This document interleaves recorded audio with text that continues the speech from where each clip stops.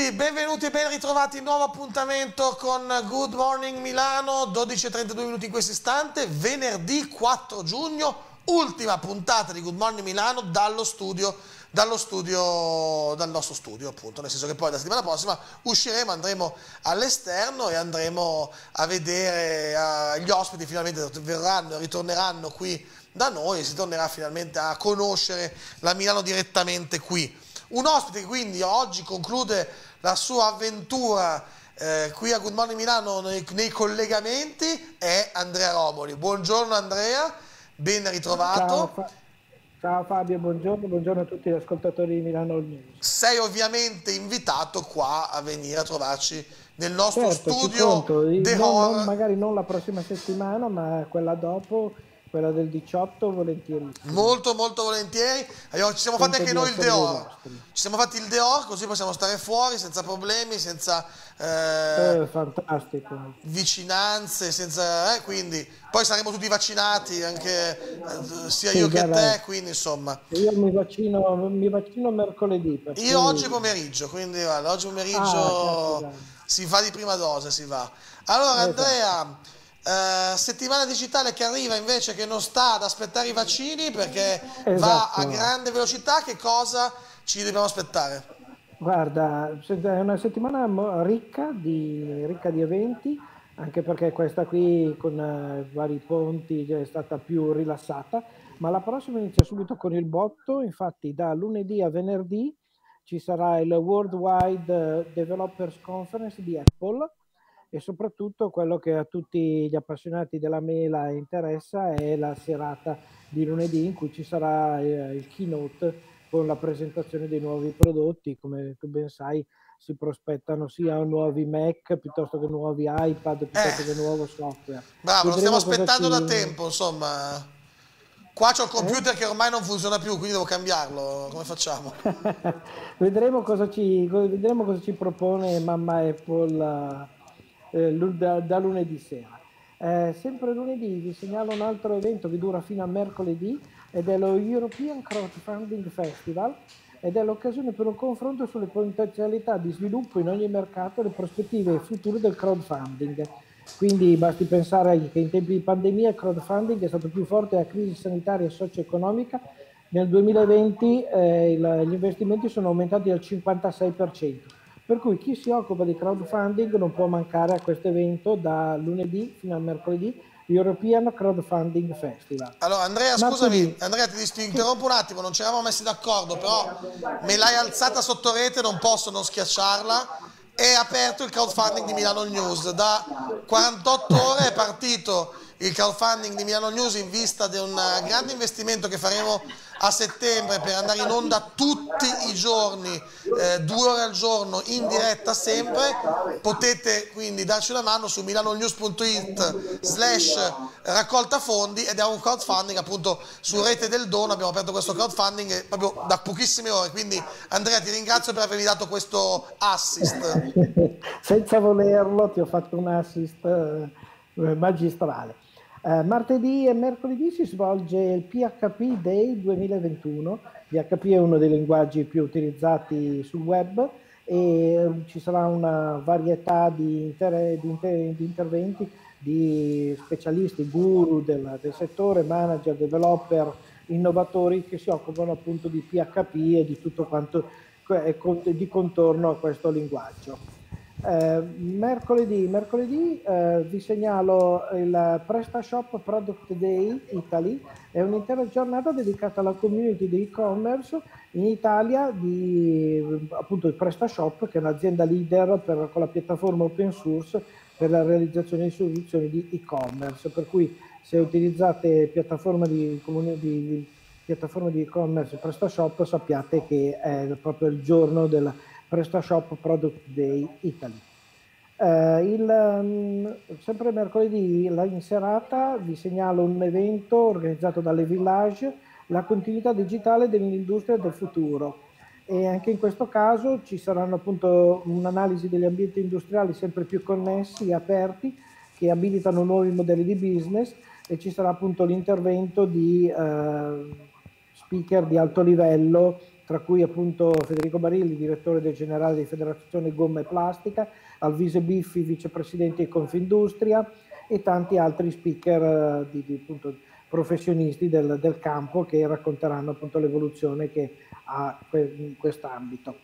Eh, il, eh, sempre mercoledì alle 18, organizzato dal Politecnico di Milano, eh, la presentazione del Deep Tech Startup, ovvero um, la presentazione del corso de, di management, della Management Academy del Politecnico, con appunto in dettaglio l'introduzione al percorso di mentorship eh, fatto dal Politecnico verso le start-up che decideranno di partecipare. Eh, giovedì, giovedì ehm, segnalo, una, segnalo, un evento al, nel pomeriggio alle 15 che è il tavolo giovani Cross Bridge 2021 è organizzato dal tavolo giovani in collaborazione col Politecnico sempre ed è dedicata ai pitch delle start-up selezionate nell'ambito della competizione Cross the Bridge e quindi ci sarà eh, questa competizione è stata realizzata alla Camera di Commercio di Milano, Monza, Brianza e Lodi e accordo, eh, nell'ambito dell'accordo appunto di collaborazione un'alleanza a favore della start-up del territorio. Eh, le start-up presenteranno proprio soluzioni innovative che riguardano, eh, riguardano i settori medtech, biotech, agritech e digital manufacturing, per cui senz'altro molto interessante per quanto, appunto, per, per, per quanto riguarda questa manifestazione. Eh, venerdì, venerdì ehm, vi segnalo alle 18.30, organizzato da 24x7, eh, dunque la, un'intervista a Giorgio Gioacchini, che è la persona che c'è dietro lanciationline.com, un programma che condivide con PMI e professionisti le best practice di marketing e di business digitale, che consentono a un'azienda già consolidata offline di affacciarsi all'online. Quindi molto interessante soprattutto perché il, l'host è Luca Barboni, che è uno dei massimi esperti in Italia per quanto riguarda il growth hacking e ha una sua società che si dedica solo e esclusivamente a, appunto, a questo tipo, di, a questa nicchia di mercato. E per chiudere concludiamo con sabato, sabato 12 giugno alle 15 vi segnalo la seconda edizione dell'evento Italian Startup Network lo scopo dell'evento è quello di fare nuove conoscenze, networking, condividere esperienze e punti di vista e magari appunto creare anche nuove collaborazioni interessanti.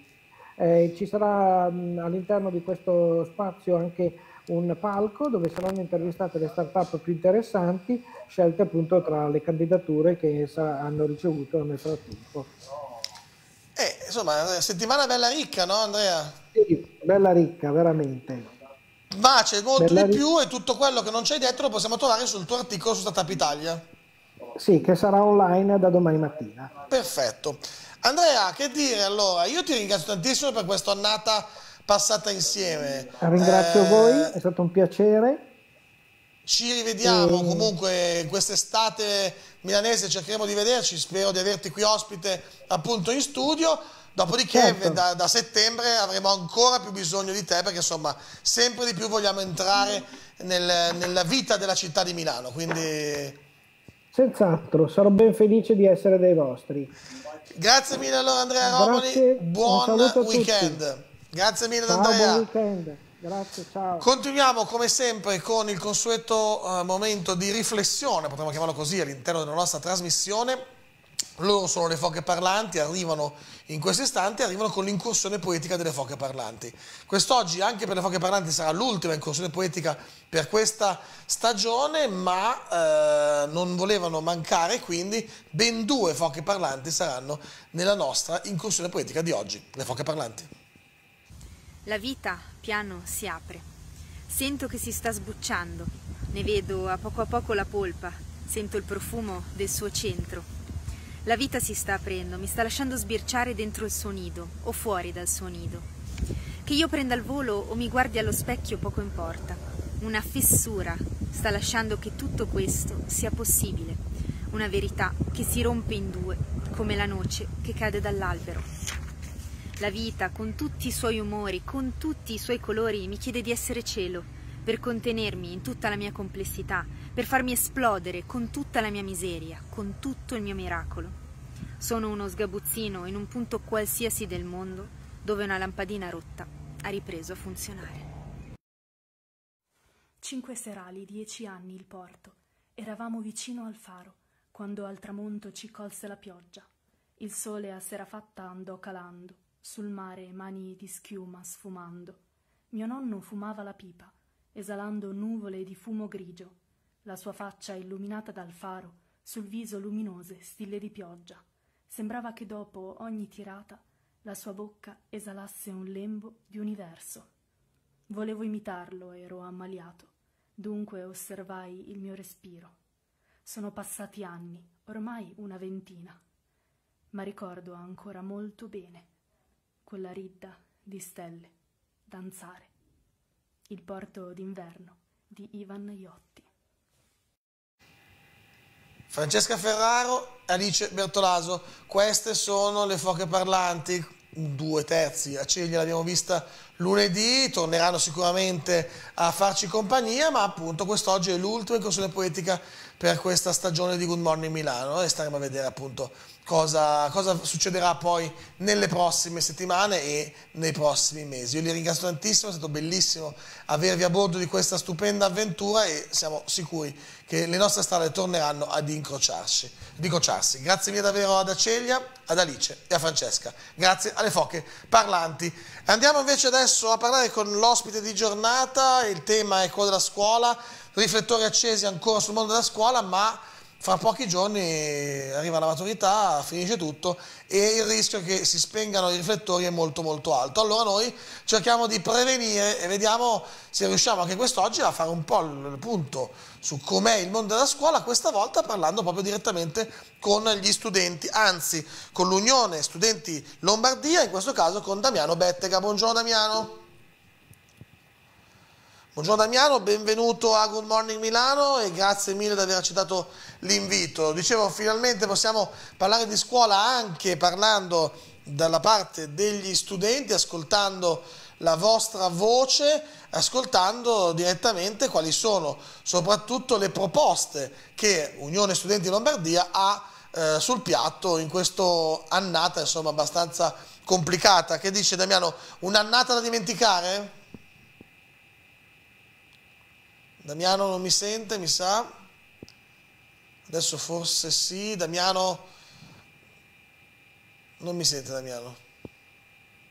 Vediamo, Damiano fai un cenno se mi senti. No, Damiano non mi sente. Vediamo un attimo, aspettiamo un secondo. Damiano, se mi senti fai... Non mi senti, mi senti?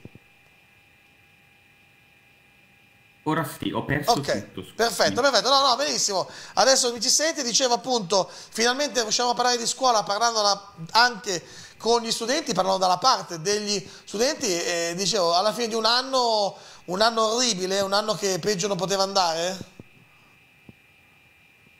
Sì, diciamo che quest'anno è stato abbastanza turbolento sotto tutta una serie di profili. Ehm, in primo luogo per la questione aperture e chiusure, no? E quindi eh, delle scuole, la questione della DAD, ehm, aperture continue, chiusure continue a causa dei, delle continue innalzamenti e discese dei contagi, ehm, che hanno portato diciamo, numerosi disagi sia nei confronti degli studenti ma anche di tutto il personale scolastico, docenti, personale ATA. Ehm, e soprattutto è dovuto questo a una mancata reale organizzazione del rientro, una mancata reale organizzazione dei trasporti, ehm, delle predisposizioni degli, riguardo agli spazi da parte delle istituzioni e questo mh, evidentemente penso che sia molto indicativo di quanto effettivamente la scuola da decenni oramai venga tenuta di poco conto. Ehm, e la pandemia ha esacerbato tutte le criticità che eh, la scuola stava vivendo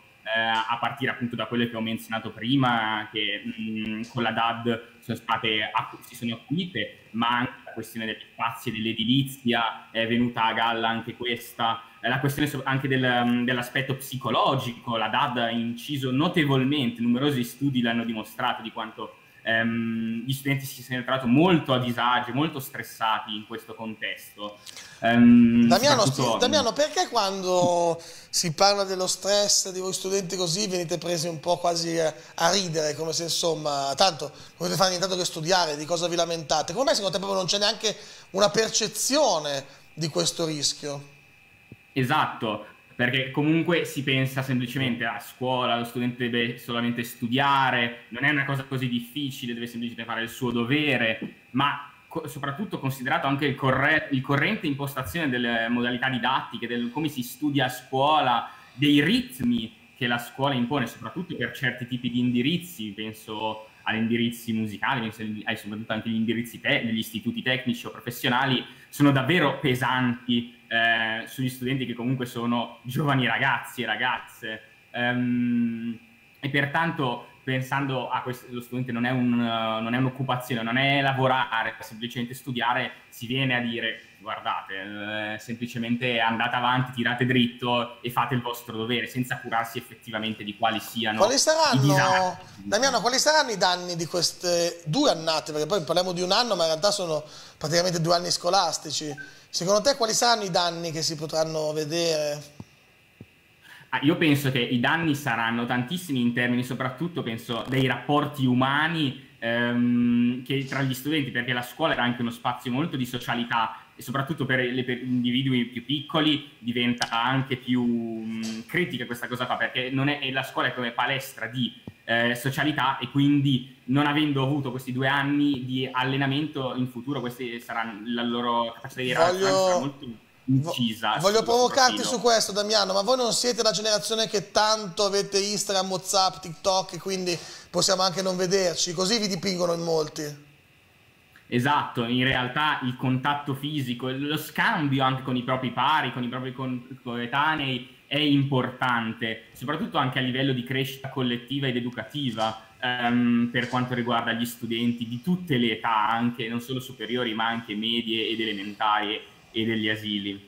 Mm, poi anche questi due anni fatti in una modalità didattica che è altamente disfunzionale, non che in realtà la didattica prima della DAD ave- non fosse esente da criticità, però la DAD comunque è ancora peggio, mi verrebbe da dire, a livello proprio formativo ci sono state numerose lacune ehm, diffuse su tutta la popolazione studentesca ed evidentemente ci sarà anche da intervenire sotto questo profilo. Ecco, e io penso che, magari poi ne parlerò meglio, non credo che però sia da intervenire secondo gli stessi eh, modalità che dicevano prima. E appunto questo, volevo proprio chiederti questo Damiano, il rischio adesso è che eh, passata un'estate, tutto corpo docente vaccinato, buona parte anche degli studenti vaccinati, si ritorni alla vecchia scuola, si ritorni alle vecchie modalità.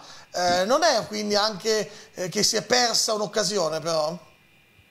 Esatto, io sono, sono, d'accordo con te ed è per questo che tra l'altro noi in questo, in questo mese abbiamo attivato una campagna che si chiama Campa- Cantiere Scuola. Cantiere eh, Scuola.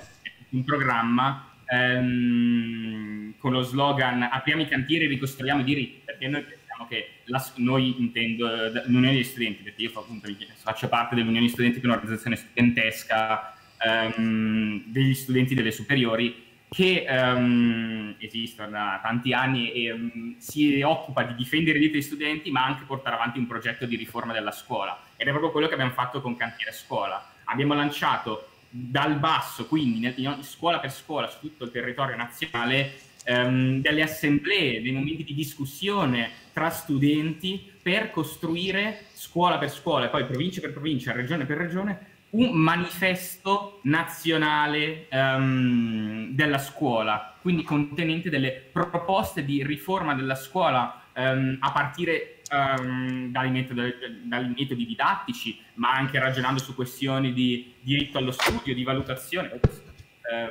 allora, faccio, anche riguardo Facci quindi, qualche esempio, quindi... Damiano, allora, perché eh, la riforma della scuola è una di quelle riforme che qualsiasi governo abbia avuto in Italia almeno un po' l'ha fatta, no? Cioè, chiunque si è messo a riformare la scuola, poi alla fine nessuno l'ha fatto, perché comunque tanti cambiamenti, ma poi non è mai cambiato nulla di, di, di strutturale da, da, da, quando sono state istituite le scuole medie negli anni 50. Quindi, eh, che, quali, quali sono le vostre proposte?